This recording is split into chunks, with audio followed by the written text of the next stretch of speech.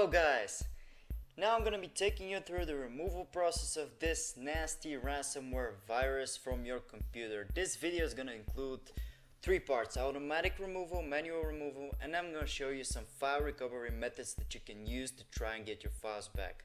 Before we start with the video steps, I'm gonna say that you're gonna have to always follow uh, guidance from site or uh, video YouTube channel that is legitimate. Always make sure to back up your files and use trustworthy sources and always check if these are real people behind uh, these uh, removal guides.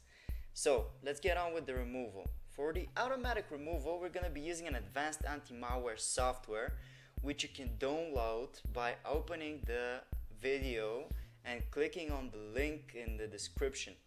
It's gonna take you through a removal article about the specific virus where you can find the download button which you should click and it will take you to the download page where the download should start automatically and then you have to open the installer that you downloaded. Okay, it's gonna take you through a language choice and a couple of simple steps that you're gonna have to follow. Simply agree with the terms, accept and install, and installation should take one or two minutes tops depending on your computer. After the setup is done, this scan should start automatically and when it's done, you click on finish and the scan's gonna start. Now that's it. Basically now the, the software is looking for any virus files, objects, cookies, anything, anything that may be even potentially malicious. And uh, any virus uh, will hopefully be detected and removed. When it's done, simply select the threads and then click on the next button to remove it. It's easy as that. Now, so much for the automatic removal. Let's get on with the manual removal. For the manual removal, I highly suggest that you back up the encrypted files and that you have some experience with removing threats. What you're gonna do is gonna copy the files on a flash drive anywhere else on your computer because you never know what's gonna happen. Your computer is still infected, still under threat, and at this point you don't know what's going on, you know. So you're gonna copy them to a flash drive, set them to a cloud drive, and then you can go on with the removal freely without any worry because the files could be recovered. Now, let's find the virus files. To do that, you're gonna search for show hidden files and folders. And then you're gonna click on it. Alright. In it, you'll see show hidden files, folders, and drives. You're gonna mark it with your mouse and then you click apply and then click OK to accept the setting. Now we can find the file even if it's hidden. To find the file, have to know the name. Usually in the description, we upload the names of the files uh, in the article where we do research on different viruses. So you can check if it's there. If it's not, you can check via other ways which I'm gonna take you through. Now what you're gonna do, open my computer and then you're gonna type file extension, double dot, the file extension exe in this case, example virus name is just to show you how it works. You're gonna type the file name and then uh, Windows will take care of the rest. And you hit enter it's gonna hopefully locate the virus file search for it and locate it like shown here. And then you have to delete it uh, as an admin from your computer and basically that's it you've taken care of the virus now uh, be advised you need to have experience like I said in removing threads to be able to find these files Another way to find them and to clear your registry entries is to press the Windows key and the button R and type regedit.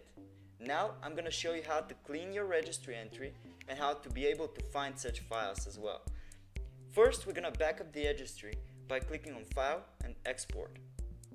Alright, and then you're gonna save it somewhere easy to find. On Export Range click All and type the file name to be as easy as you can remember. So click on save and now you have set up a backup for your registry so if something messes up you can always uh, get your registry back the old good configuration by clicking on file and then import and selecting this backed up file so now we're going to be looking for a specific key. Press ctrl and s to open the search bar. To do that you're going to mark only keys. We're looking for keys specifically here. And then you're gonna type run or run once. It's gonna find next and it's gonna find the run and run once keys uh, which usually they contain a value of the virus. You can right click on the virus and then delete it uh, or you can right click it and then modify it to see the location of the virus file. It will help you find the file.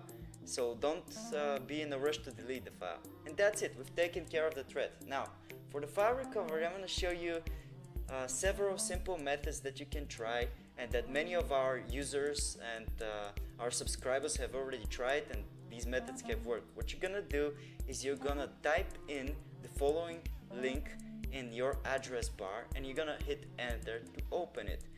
This will take you to our specific article for file recovery against ransomware viruses.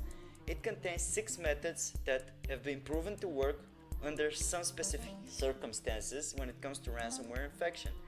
These methods, they are no way, shape, or form 100% uh, guaranteed to work, but they will surely help you as we have some users who have partially backed up their files, being able to recover some of their files, and even some users have been able to recover all of the files. Until then, until a decryptor is released, you should check uh, the article in the description often. And that's it guys. Uh, thanks for watching, subscribe, hit that subscribe button and make sure to comment if you have any questions, we try to respond fast.